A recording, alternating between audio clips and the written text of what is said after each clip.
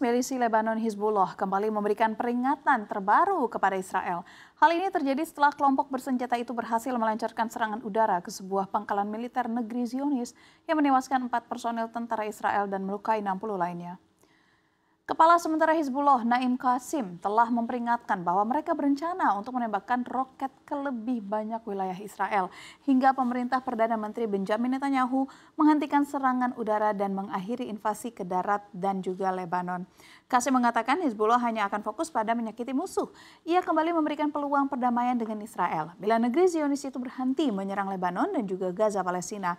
Eskalasi antara Israel dan Hizbullah ini sendiri merupakan muara dari perang Israel dan milisi Gaza Palestina Hamas yang terjadi sejak 7 Oktober tahun lalu. Dalam serangan ini, Tel Aviv melancarkan serangan masif ke Gaza hingga membunuh hampir 42 ribu jiwa warga sipil. Serangan ini pun akhirnya menarik Hizbullah untuk ikut menyerang Israel.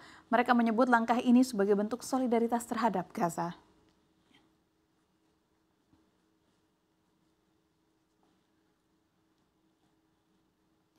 Jerman menolak untuk mengirim senjata ke Israel kecuali Yerusalem Barat memberikan jaminan tertulis bahwa senjata itu tidak akan digunakan untuk menyerang warga sipil di Gaza.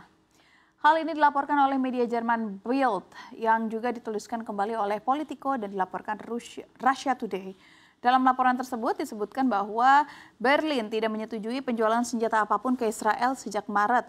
Manuver ini diinisiasi oleh Menteri Luar Negeri Annalena Baerbock dan Menteri Ekonomi Robert Habeck yang ingin agar Israel berjanji senjata itu tidak akan digunakan terhadap warga sipil di Gaza.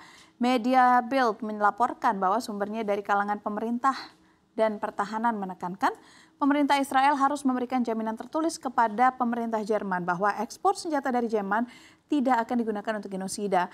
Hukum Jerman melarang pengiriman senjata ke negara-negara yang beresiko digunakan terhadap warga sipil. Maka itu dalam konteks Israel Gaza, pengadilan administratif Jerman dapat menghentikan pengiriman tersebut bila tidak ada komitmen dari Tel Aviv. Baerbock secara terbuka juga mendukung hak Israel untuk membela diri, namun menekankan dalam pidatonya bahwa hukum humaniter internasional dan hak Israel untuk hidup saling terkait erat.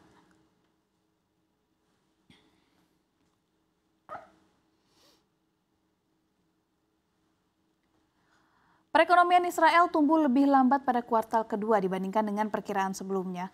Perang Israel di Gaza melawan kelompok Islam Palestina Hamas di Gaza terus membebani pertumbuhan ekonomi.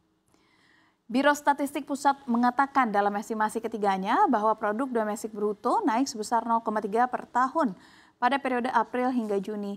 Angka ini turun dari 0,7 persen yang dilaporkan sebulan lalu dan dari 1,2 persen awal yang dipublikasikan pada Agustus.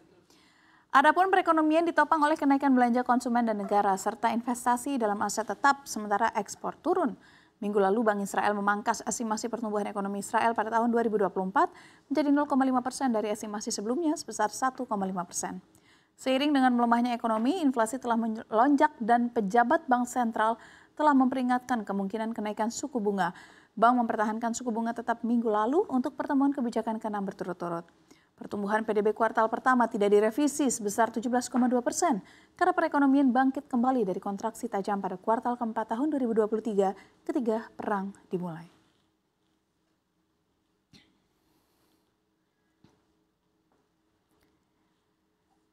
Ya pemirsa Presiden terpilih Prabowo Subianto menunjuk Sri Mulyani untuk kembali menjadi Menteri Keuangan. Sejumlah ekonom menganalisis tantangan alasan di balik keputusan Prabowo mempertahankan Menteri era Presiden Jokowi ini. Mereka juga menyebut tentang pekerjaan rumah terbesar Sri Mulyani di masa pra pemerintahan Prabowo. Misalnya saja Direktur Eksekutif Center of Reform on Economics atau KOR M. Faisal menilai Sri Mulyani kembali ditunjuk untuk mempertahankan kepercayaan pasar. Dia menilai sosok Sri Mulyani sudah kadung dipercaya pasar sebagai orang yang bisa menjaga disiplin fiskal di tengah kehadiran program yang menyedot banyak anggaran negara. Selanjutnya, ekonom Universitas Diponegoro, Wahyu Widodo menilai alasan utama adalah karena dianggap sebagai sosok yang punya kredibilitas. Dia mengatakan hal itu teruji ketika dunia dihantam pandemi COVID-19. Dia menilai Sri Mulyani berhasil menjadikan APBN sebagai shock absorber ketika masa krisis. Sebaliknya pada masa normal, fiskal justru berfungsi sebagai pendorong pertumbuhan ekonomi. Sementara itu, Direktur Eksekutif Center of Law and Economic Studies atau CELIOS, Bima Yudhistira menilai, Sri Mulyani punya pengalaman panjang 13 tahun jadi Menteri Keuangan. Reputasi internasional dan kedekatan dengan lembaga kredit multilateral seperti Bank Dunia juga membuat Sri Mulyani sudah dan juga mudah berkomunikasi dengan mitra keuangan global.